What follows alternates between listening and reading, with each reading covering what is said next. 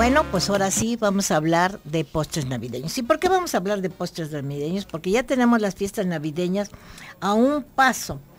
Y aquí en tu programa con Sazón a la Mexicana nos estamos preparando para ayudarte a decidir qué vas a cocinar o decidirte qué vas a cocinar. Es decir, qué vas a hacer, lo puedes comprar o lo vas a cocinar, cualquiera de las dos cosas. Tenemos pavos, pescados, sopas, todo lo que sea. Pero el final yo creo que es lo más importante, un buen postre. Y para eso los jueves lo tenemos dedicado precisamente a todo lo que viene siendo la repostería. Bueno, hoy vamos a comenzar hablando de postres navideños y vamos a ver qué cosa nos trae el ingeniero. ¿Cómo estás, Ernesto? Muy, buenos días. ¿Este año vas a hacer bacalao? Sí, Pi. ¿Para vender? Sí, Pi. ¿Qué me quieres comprar o qué? Claro. Bueno, no el bacalao, no a mí, no. Se oyó así como que me quieres comprar. Bueno. Qué cosa tan rica, ¿eh? El bacalao que hace Maruja. Se lo Muchas recomiendo. gracias. sí, es, de eso se trata. ¿Y cómo, me- y, cómo, y cómo puedo contactarte para, para comprarte bacalao? Mira, vamos a tener un evento muy bonito para este principios de diciembre. Ahí las personas que deseen ahí me pueden contactar y si no después le damos nuestro teléfono y nuestro correo para que se contacten con nosotros. Porque ya los hijos ya están entrando en el negocio, ya les gustó, ¿verdad? Ya vieron que pueden sacar por ahí algo junto con su mamá. Así es que, Ernesto, dime, ¿qué cosa vamos a hacer hoy de postres? Ay, Maruja, es que hay tantas cosas para hacer de, de postres ahorita. Entonces, eh, la verdad, eh, estuve haciendo como una especie de recopilación entre lo que viene siendo a- algo diferente, no, no tanto, aunque nos han estado pidiendo los, lo- los, niños envueltos y todo eso, sí, sí.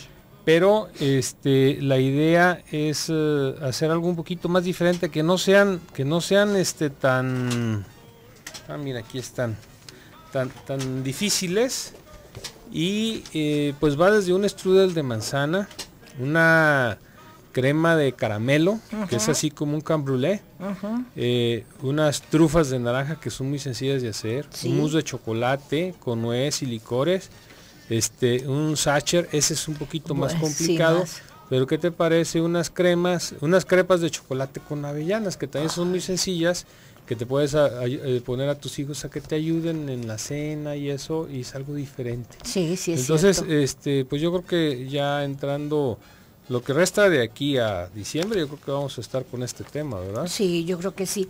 Fíjate que hablando de eso me encontré de eh, hace muchos años, tengo guardada, no sé por qué se quedó guardado un recorte que ahorita espero encontrarlo por acá, en el que habla de que los postres europeos son muy mexicanos también, ¿no? Por Sí. ejemplo, estamos hablando de esto, porque en realidad eh, nosotros tenemos mucho de comida francesa, como tú dices, el tronco navideño pues viene de allá, ¿no?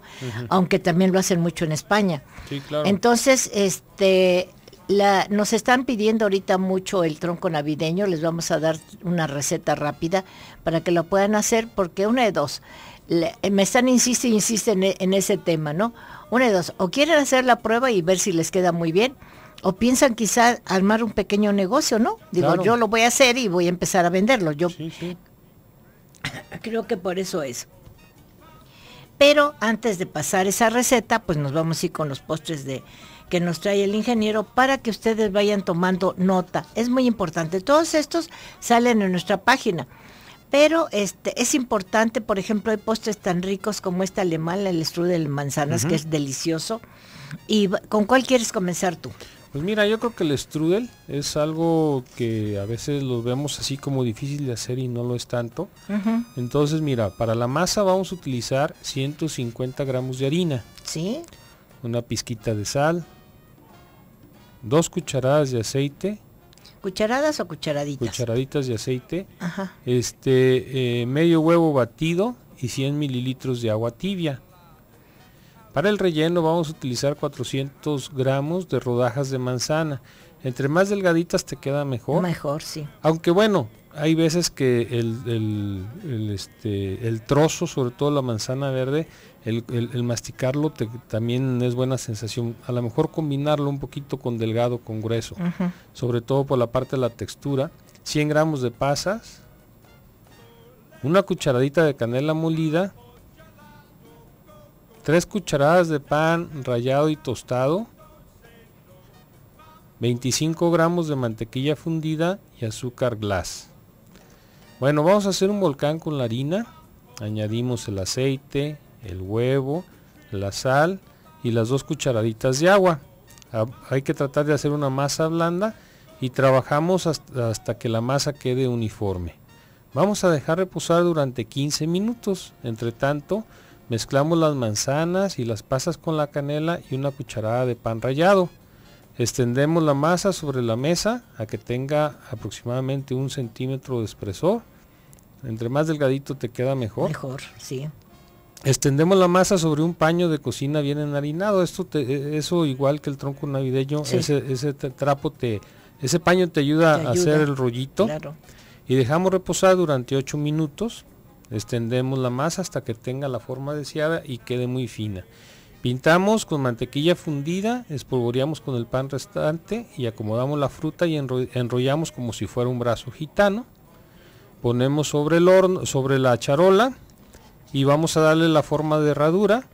Pintamos con la mantequilla restante y cocinamos a temperatura alta. Esto es a 180 200 grados centígrados en unos 20-25 minutos hasta que quede dorado y al final vas a espolvorear con azúcar glass.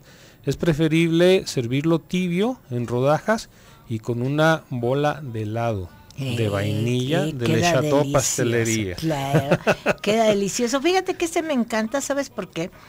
Una cosa muy importante, porque el strudel muchas de las personas creen que se hace con la pasta de hojaldre. Se vale, se vale, se puede hacer con la pasta de hojaldre. Sí, por supuesto, y también te queda muy y queda muy rico, pero en realidad el strudel no es con pasta de hojaldre, es con otro tipo de masa, ¿no? Entonces, este, lo más importante es la forma que tú le estás dando. Entonces, esto sabes para qué me gusta, como para año nuevo, ¿no? También. Para desearles este buena suerte a todos los que están con nosotros. Dicen que la herradura es de buena suerte, ¿no? Entonces hacemos esto en forma de herradura y se lo podemos obsequiar a alguien que querramos para Año Nuevo. Claro. ahorita se me acaba de ocurrir, qué buena idea tuviste, me gustó, me gustó. Gracias. Nos vamos a ir a un corte, Ernesto, y regresamos en un momentito con ustedes. Claro que sí.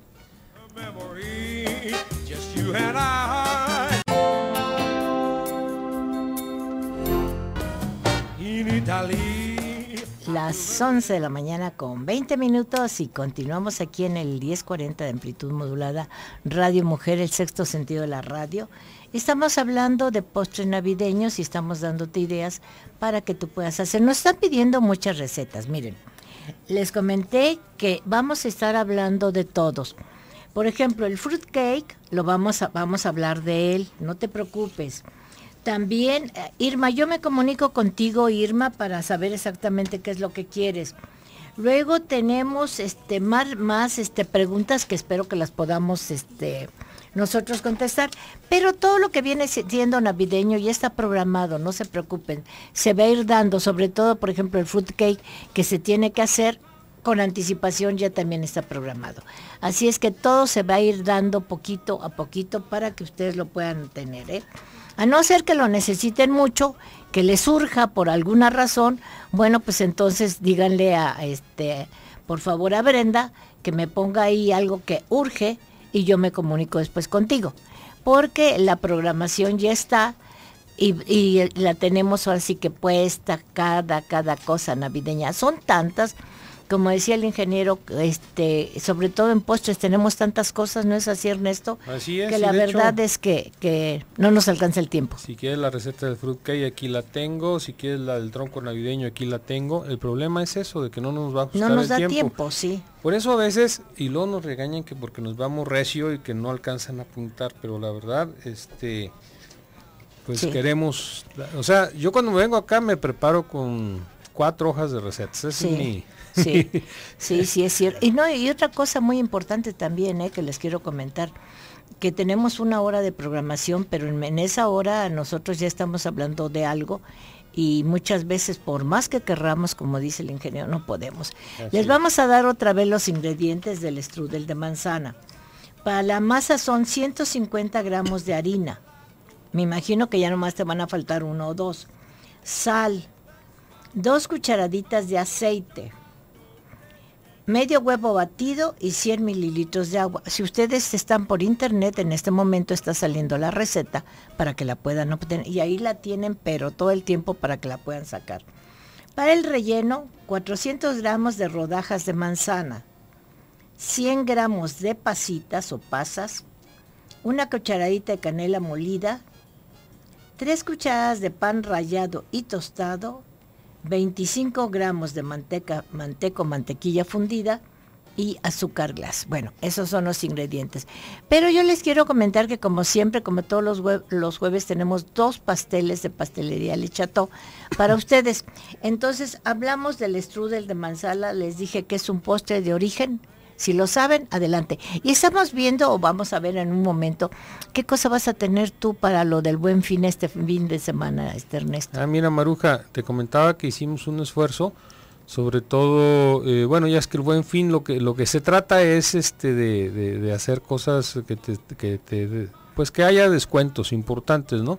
Entonces, por ejemplo, el pastel de tres leches nosotros lo tenemos en tienda en 260 pesos. Sí. Lo hicimos un poquito más bajito y precisamente para que nos rindiera más le pusimos relleno y de hecho me gustó más que el que no tiene relleno. Ajá.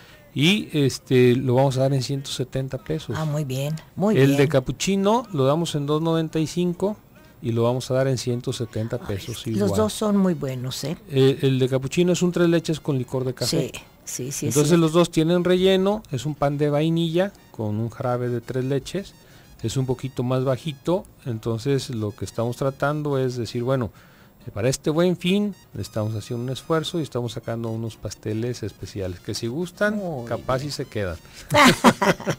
Muy bien, bueno, entonces ya pasamos la, la, primera receta y nos vamos a ir ahora a la segunda receta. Sí, ¿qué se te antoja, Maruja? Tenemos la crema las trufas, el mousse, ay, todas que todas están muy buenas, ¿eh? El sacher, que es buenísimo, y las crepas. Oye, ¿qué tal si hablamos de las crepas, que es el número, el final? Ándale, mira, vamos a utilizar 60 gramos de chocolate desmenuzado, 3 cucharadas de avellanas tostadas muy picadas. A ver, son 60 gramos de chocolate desmenuzado o picado, ¿no? Uh -huh. 3 cucharadas de avellanas tostadas muy picadas. Eh, cuatro yemas de huevo. Cuatro yemas de huevo. Tres cucharadas de azúcar. Tres cucharadas de azúcar. Cinco claras de huevo. Cinco claras de huevo. Eh, mantequilla, 30 gramos, un poquito de sal y una cucharada de cocoa. 30 gramos de mantequilla y una cucharada de cocoa y una pizca de sal. O de sal. hecho, ahí está en internet la receta para los que nos estén viendo por internet. Bueno, vamos a dorar las avellanas en una sartén, removiéndolo sobre fuego medio. Es importante uh -huh. que se doren, que no se te quemen, porque sí. vamos a vertir el chocolate en un bol este, y lo vamos a colocar en baño María para, que se, para desbaratar el chocolate. Vamos a, re, a, a dejar que se funda, dejamos enfriar. Batimos las yemas con el azúcar hasta que la mezcla espese añadimos el chocolate a que se incorpore perfectamente. Batimos la clara a punto de nieve con una pizca de sal y añadimos lentamente la mezcla del chocolate. Vertimos las avellanas, precalentamos el horno. Vamos a derretir la mantequilla en un sartén mediana y cuando espume vamos a verter la mezcla de chocolate, movemos el sartén hasta que quede la, la mezcla bien extendida y vamos a cocer a fuego durante uno o dos minutos hasta que esté eh, bien, hasta que empiece a burbujear sí. la superficie. Eh, dejamos debajo del horno a que dore un poquito, dividimos en cuatro porciones, espolvoramos la cocoa y vamos a acompañar con un delicioso helado de avellana. Ah, a ver, vámonos otra vez con este último procedimiento. Ajá. Vamos a derretir la mantequilla en una sartén mediana y en cuanto espume vertemos la mezcla de chocolate, o sea, la que tenía sí, la que, la que tuvimos ya antes, la de que hicimos las claras. Sí. Este, junto con la mezcla que ya teníamos Sí. uh, este, anteriormente. Movemos el sartén a fin de que la mezcla se extienda por igual y lo vamos a cocer a fuego lento por uno o dos minutos hasta que esté medio hecho y la superficie burbujee. Dejar bajo al horno, Sí, o sea, ya prendiste el horno, lo pones en el horno para que te dore, porque el- el dorado que te da el horno es diferente a la que te da el sartén. claro, para que no te quede crudo, o sea, primero pasamos por el sartén como haces normalmente una crepa Sí. y luego la metes al horno a dorar. Perfecto. Dividimos en cuatro porciones para que te quede crocante. Es, es- es algo diferente. Sí. Espolvoreamos con la cocoa y servimos con una, con una bola de helado. Pues esta, estas crepas de chocolate Si ves, están es bien diferente. ricas. Es Te diferente, que sí. o sea, eh, cuando decíamos crepas, bueno, piensas en el rollito y todo. Sí. Estos son los, los, los- los triángulos de una crepa crocante, Sí. doradita, en el cual te vas a ver delicioso. Bueno, pues esta receta también está muy Lo buena. Tenemos ahí el procedimiento, también lo tenemos en internet. Esta está muy buena esta receta y recuerden que si tienen alguna duda se pueden comunicar aquí con nosotros, sobre todo las personas que nos están escuchando por radio y que no tienen internet, ¿no? Bueno, nosotros vamos a continuar 31 22 11 90 36 47 18 83 para que nos llamen y se comuniquen con nosotros. Recuerden que les estoy preguntando que el strudel de qué parte viene. Si lo sabes, comunícate con nosotros porque a lo mejor tienes tan buena suerte que te puedes llevar uno de los dos pas- pasteles. Bueno, ya sabes que es un vale y ustedes pueden hacer con eso lo que gusten.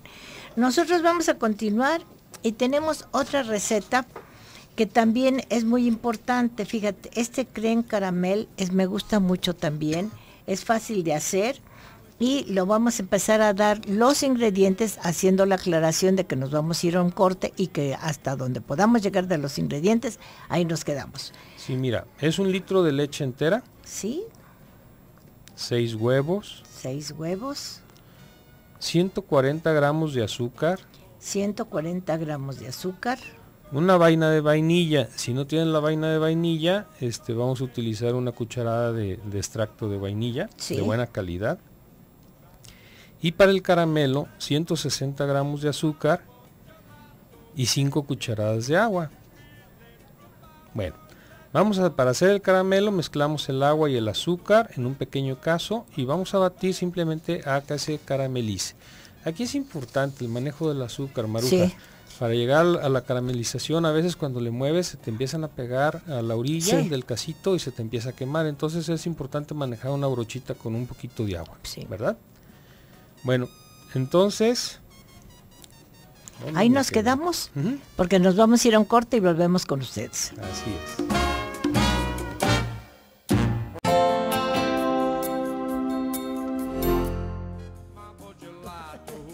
Las 11 de la mañana con 35 minutos y continuamos con ustedes aquí en nuestro programa de Con Sazón a la Mexicana.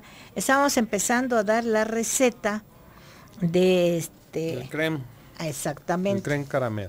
Bueno, entonces habíamos visto que primero hacíamos el caramelo, mezclando el agua y el azúcar en un pequeño caso, y vamos a esperar hasta que se caramelice, cuidando que no se te quemen las orillitas. Sí, no, una y también cuidando que no se te queme el caramelo, ¿eh? Sí, sí.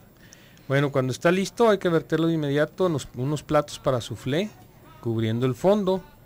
Vamos a, a el- los platos para soufflé son unos platos de cerámica De blancos, cerámica, sí. bonitos, así rayaditos. Sí, Se ven muy bonitos. Entonces vamos a precalentar el horno a 180 grados y en un caso vamos a vertir la leche, el azúcar, vamos a añadir la vaina de la vainilla cortada en dos, eh, este, dos veces longitud- longitudinalmente y lo vamos a poner al fuego y retiramos al primer hervor.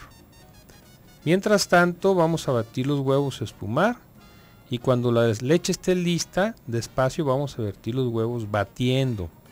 Llenamos los moldes a, a dos terceras partes y los horneamos a baño María en 35 o 40 minutos a que doren.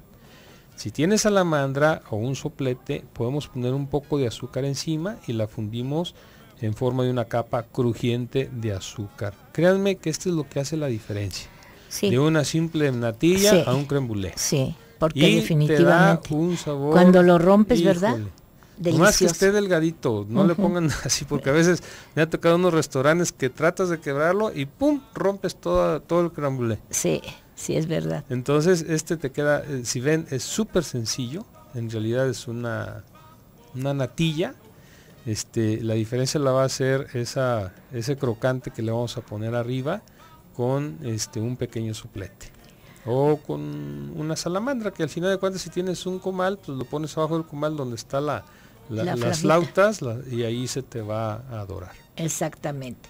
Bueno, pues vamos a continuar nosotros, ya les pasamos este, tratamos de pasar lo más que podemos de las recetas, porque también eh, de lo que se trata es este, otra cosa, recuerden que también tenemos un día al mes donde se contestan todas las preguntas referentes a lo que es repostería. También eso es muy importante, ¿no? Pero nos vamos con las trufas. Yo creo que si hay algo que a mí me encanta son las trufas. Desde, yo creo que de toda la vida me han gustado las trufas, las he hecho con los hijos, ya después con los nietos, y espero poderlo hacer con los bisnietos. Ay, ya te dije que estoy, estamos, estoy. ¿Estamos esperando el segundo bisnieto? No me digas. sí, bueno, el, el, bebé ya tiene dos años y pico, dos años y medio casi, ya era hora de esperar el segundo, ¿no? Así es que ya viene otro bebé para la casa, así es que... Pues felicidades. Así estamos, ¿eh? Pues vámonos con las trufas de naranja. Bueno, mira, eh, vamos a utilizar 50 gramos de mantequilla en trozos. Vamos a hacer como que estamos apuntando para irnos más despacito. 75 mililitros de crema. Dicen en los recetarios, crema de vaca. Crema de vaca. 200 eh, gramos de chocolate que sea de tipo fondant en trozos. Este es el amargo. Sí. Este lo encuentran donde venden todas las materias primas para repostería. Nada más por ¿eh? favor que sea chocolate. Sí. Porque luego hay unos sustitutos de chocolate que son muy baratos y, hay una gran diferencia. Sí. Y desgraciadamente mucha de mi competencia ya está utilizando este tipo de chocolate como nos ha subido tanto la materia prima, Maruja, pero miren, de veras que es una gran diferencia. Se nota. Eh, vamos a utilizar una yema de huevo, una cucharada de ralladura de naranja. Sin lo blanco, recuerden. Sin ¿eh? lo blanco, nada, lo, puro amarillito. Dos cucharadas de piel de naranja eh, cortada en julianas muy pequeñas, muy finitas dos cucharadas de Gran Mernier o Contru, con, con, ¿cómo se pronuncia? Contro, ¿verdad? Contro. Y cocoa tamizada para eh, darle el, el toque final. Bueno, vamos a mezclar la mantequilla con la crema en un pequeño sartén. Calentamos hasta que se derrita la mantequilla y le llevamos a que empiece a hervir. hervir. Apartamos del fuego y añadimos el chocolate lo tapamos y lo dejamos reposar hasta que se haya derretido el chocolate. Y hay que removerlo hasta que quede una pasta muy fina. Agregamos entonces la yema de huevo, la ralladura de naranja y el gran vernier. Removemos y vamos a dejar reposar en el congelador hasta que tome una consistencia para poder hacer las bolitas. Al final las vamos a cubrir con el la, con la cocoa tamizada y con la naranja confitada. Mm, Podemos congelar después y vas a ver mejor. Y este, fíjate que lo, más importante de todo es eso, ¿no? El buen chocolate, porque van a ser, es un postre muy bueno. Este, eh, ya que lo tenemos, inclusive lo puedes poner en capacillos chiquitos y tenerlo en, eh, en, tu charola, en lo que vais a hacer. Eh, de Navidad puedes poner trufas de naranja, puedes poner pastelitos, puedes poner galletas, puedes poner em, nueces confitadas, puedes poner este, pistaches. Digo, hacer una charola de varios tipos de postres y entonces vas a quedar. No, ya se me está antojando todo esto. Ahora quedando con lo, de la boda de mi hija, este, estábamos viendo el banquete, los postres y todo. Entonces eh, se nos estaba ocurriendo como para eh, abrir un poquito, eh, este, dar una copa de vino tinto, de un buen vino tinto, sí. con una trufa de naranja. ¡Ay, qué rico! Entonces, este, la idea era tomarnos nada más una copa así para hacer un poquito de tiempo. Sí. Y el mesero que vaya con la copa de, vino tinto con una trufa. Es que Así en un capacillo finito. Eh, porque las agarras con los dedos y se te derriten. Entonces es un, va a ser un manchadero de las de las muchachas que van ahí con sus vestidos. Acuérdate que, que el borracho fino dulce y vino. Ese es el borracho fino. Y sobre todo se está usando mucho el maridaje del Sí. vino con el chocolate. Ay, sí, muchísimo. Es delicioso. Entonces realmente fíjate que aquí aparte de todo te damos ideas de lo que puedes hacer, porque sin duda alguna el chocolate es el rey de, de, pues yo creo que de todos los postres y orgullosamente mexicano nuestro chocolate, ¿no? Hasta del mole. Sí, no. Y entonces el, el chocolate que, que este, anda ahorita por todo el mundo, nosotros aquí en México a lo mejor muchas veces no, no lo aprovechamos como lo tenemos que aprovechar. Es correcto. Así es que estas te van a quedar deliciosas, la verdad vale la pena y nos vamos a la que sigue, que Un viene mousse de siendo chocolate. más chocolate. Con nuez y licor. Miren, el sachet probablemente no nos va a alcanzar porque es un poquito complicada la receta, pero va ahí, ahí va a quedar en, en la, en la página de Sí. internet. ¿verdad? Bueno, vamos a utilizar 200 gramos de chocolate, Sí, 200 gramos de chocolate, 30 gramos de mantequilla, 30 gramos de mantequilla, 3 cucharadas de café, 3 cucharadas de café, 3 huevos, 3 huevos, una cucharada de licor de naranja, una cucharada de licor de naranja, 20 gramos de cáscara de naranja confitada, 20 gramos de cáscara de naranja confitada, 2 cucharadas de nuez picada, 2 cucharadas de nuez picada, previamente dorada, ¿eh? sí, unas gotas de vainilla, unas gotas de vainilla, dos tazas de crema montada crema para batir ya preparada. Y eh, granillo de chocolate. Ah, muy bien. Para la salsa de chocolate vamos a utilizar 200 gramos de chocolate. 200 gramos de chocolate, con tres cuartas eh, partes de una taza de agua, 3 cuartos de taza de una... 3 cuartos de una taza de agua, media taza de azúcar, media taza de azúcar, una cucharada de mantequilla una cucharada de mantequilla. y para hacerlo vamos a trocear y fundir los 200 gramos de chocolate a baño María. Y ahí nos quedamos porque nos vamos a ir a un corte. Muy bien. Volvemos.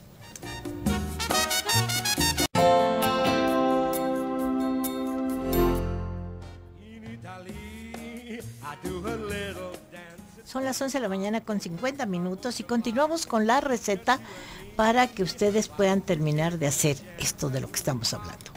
Bueno, entonces, Entonces quedamos... nos quedamos cómo íbamos a empezar a hacer la salsa de chocolate. Que había que trocear y fundir 200 gramos, los 200 gramos de chocolate eh, a baño María.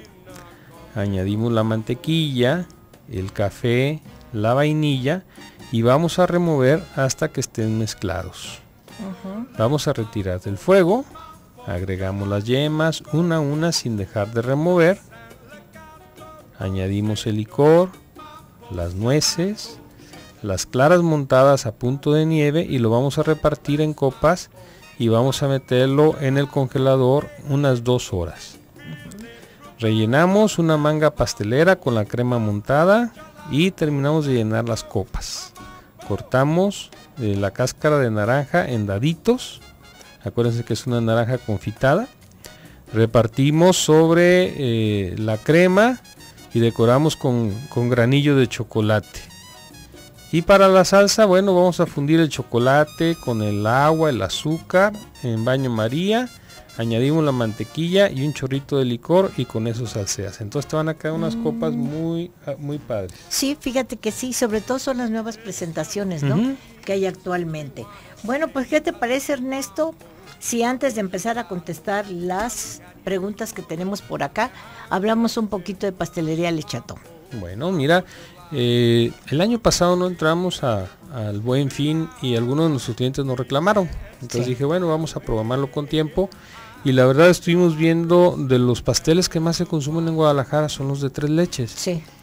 Y eh, decidimos hacer una medida un poquito más bajita este, para, para poder sacar el pastel. Sin embargo, eh, veíamos que el pan se nos, eh, se nos bajaba cuando lo- porque nuestro pan va súper bañado de leche. Sí. Este, entonces lo que hicimos le metimos una, un relleno de la misma crema. Sí. Nuestra crema es crema natural que batimos con azúcar glass, eso es todo. Eh, entonces nos dimos cuenta que te da mejor sabor porque uno, de las características que tiene el Chateau Pastelería es precisamente el sabor de nuestra, de nuestra cobertura. El chocolate es 70% cacao y eh, lo que viene siendo eh, la crema es una crema natural, que la conseguimos aquí en Guadalajara con una empresa de Guadalajara. Entonces, este, lo pusimos como relleno y quedó delicioso, Maruja. Ah, muy bien. Entonces vas a encontrar un pastel eh, más bajito, pero del mismo tamaño, de 24 centímetros de diámetro. Y te decía, en lugar de pagar 260 pesos, el que es más grande, este lo vas a pagar en 70 pesos, el de tres leches. El de capuchino vale 290, 295 y lo vas a pagar igual en 170 pesos.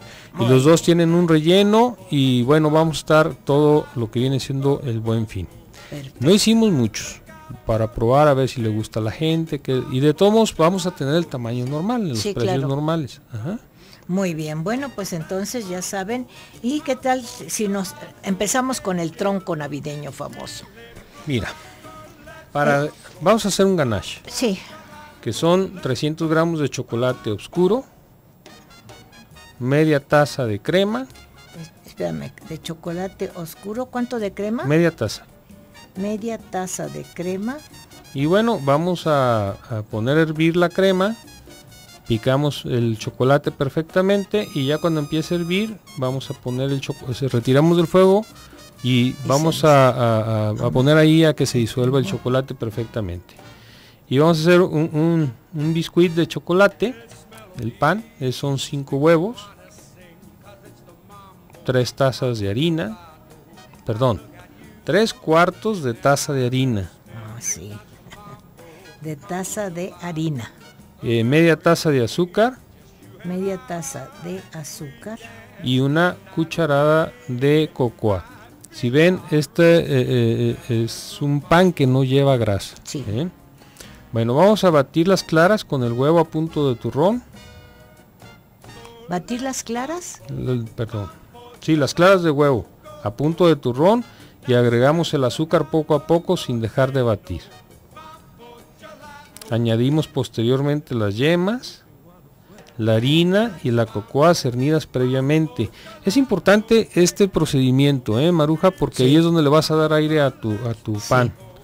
Eh, vamos a mezclar de forma envolvente para evitar que la preparación se baje. Vamos a verter en una charola de, las grandes de 35 por 45, pero si tu horno no te alcanza ni tienes las otras charolas, bueno, pues entonces lo manejas en dos. Le pones un papel estrella en la base. Eh, previamente eh, le puedes poner un poquito de mantequilla como desmoldante. Y vamos a hornear a 200 grados centígrados. Tienes que hacerle una temperatura alta para que tu pan no se deshidrate. Sí. Y es importante que no se te dore porque si no, no lo vas a poder dar la vueltita. Entonces eh, eh, lo, sacas, dejas enfriar. ¿Por cuánto tiempo lo vamos 20 minutos aproximadamente. Sí. Y eh, dejamos enfriar, quitamos el papel y vamos a emparejar las orillas para poder hacer bien tu... Para la cobertura vamos a utilizar tres tazas de crema para batir, 7 cucharadas de azúcar. 7 cucharadas de azúcar. Un tercio de taza de licor de cereza. Un tercio de taza de licor de cereza. Si no tenemos licor de cereza. Puedes agarrar el, licor que tiene las cerezas. Ya ah, ves que es el, exacto. ese le da muy buen sabor. Sí. Eh, por eso son, si ves, son poca azúcar, porque le estamos metiendo el licor. Vamos a batir la crema con el azúcar hasta que tenga una consistencia firme. Agregamos el licor y vamos a mezclar suavemente. Y para el relleno vamos a poner azúcar glass para envolver y pedacitos de chocolate al gusto. Vamos a poner el pan en, un paño húmedo. Eh, ponemos una capa de la cobertura Vas a esparcir los pedacitos de chocolate con un poquito de azúcar y si quieres le puedes poner almendra y cerezas y vamos a enrollarlo y vamos a refrigerar por 30 minutos. Ya frío, bañamos con el ganache, decoramos con un poquito de azúcar glass y pedacitos de chocolate.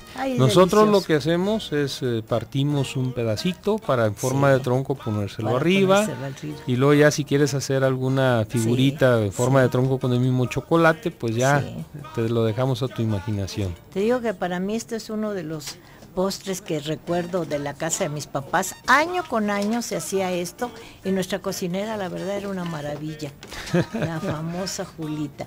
Bueno, por el chat tenemos a Tania Gómez Guzmán y este y vamos a ver, a ver, a ver, a ver, a ver, a ver, pues la mayoría sí dijo. Por favor, del 1 al 20, dame el número sí, Ernesto. El 7. Otra vez el 7. Pero no es el mismo. Ella hizo la aclaración. Alemania y Austria. Y ah, tiene razón, sí es cierto. Graciela Fregoso. Bueno, Graciela, tú por favor tienes que venir aquí a Radio Mujer Avenida Mariano Otero 3405 de 12 a 1 o de 5 a 6. Y Tania también, por favor, ¿eh? Ernesto, por favor, teléfono de la pastelería. 3630-2430, que es la pastelería de Providencia, que está entre por José María Vigil, entre Rubén Darío y Ontario. Y ahí le damos el dato de todas las demás pastelerías. Doy este porque es el más antiguo y el que se graba más fácil. Claro, no, ya tiene muchos años. Así es.